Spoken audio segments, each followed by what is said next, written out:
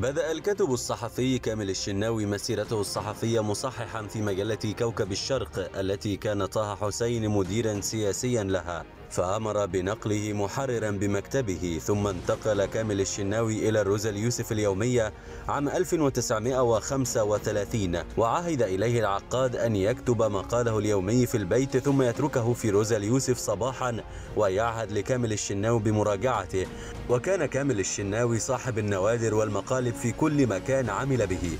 أما عن سيرة كامل الشناوي فهو مصطفى كامل الشناوي سيد سيد أحمد الشناوي.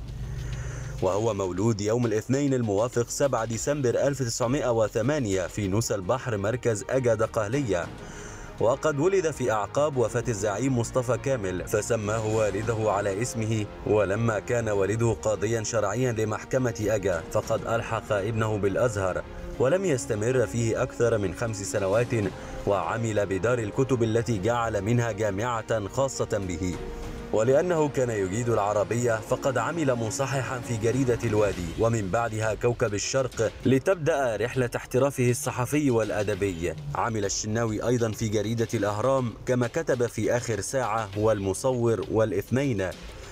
وترأس تحرير آخر ساعة عام 1943 وانتخب عضوا في مجلس النواب عام 1945 وهو العام الذي انتقل فيه للأخبار التي تركها ليرأس تحرير الجريدة المسائية التي صدرت عام 1949 وعاد إلى الأهرام رئيسا لقسم الأخبار.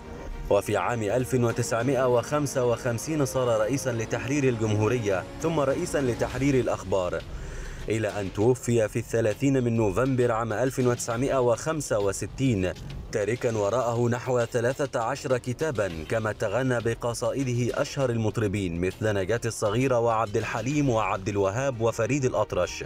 أما عن مسيرة الشعر في حياته فبدأت وهو لم يزل طالبا في الأزهر واكتشفه الشاعر الأبيض محمد الأسمر ابن دمياط الذي كان صديقا لأحمد شوقي الذي أعجب بطريقة إلقائه للشعر.